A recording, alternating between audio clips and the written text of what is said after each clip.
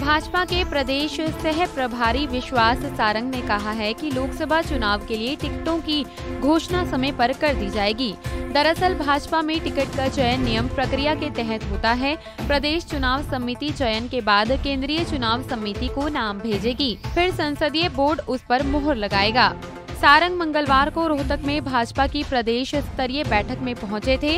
इस दौरान पत्रकारों से बातचीत में उन्होंने कहा कि लोकसभा चुनाव के लिए भाजपा पूरी तरह से तैयार है। हरियाणा में सभी 10 सीटों पर जीत हासिल करेगी और नरेंद्र मोदी दोबारा देश के प्रधानमंत्री बनेंगे। भारतीय जनता पार्टी हरियाणा पूरी मुस्तैदी के साथ तैयार है।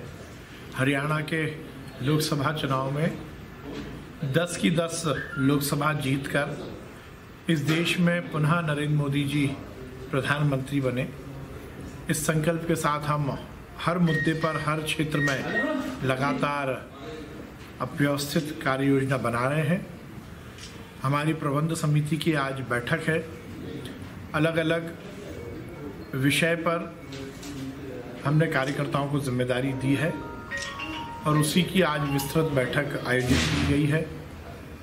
जैसा हम सबका संकल्प है कि दस लोकसभा हम जीतें। और जो दो ढाई महीने के मैंने अपने प्रवास के दौरान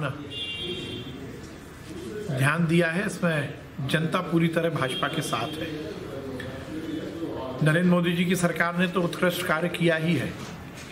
साथ ही मनोहर लाल खट्टर जी की सरकार ने भी हरियाणा के विकास में बहुत महती ज़िम्मेदारी निभाई है। हमें पूरा विश्वास है कि हम लोकसभा चुनाव जीतेंगे।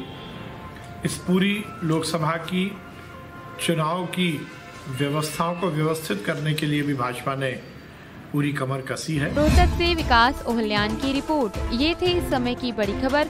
समय समय पर अधिक जानकारी के लिए देखते रहिए यस टीवी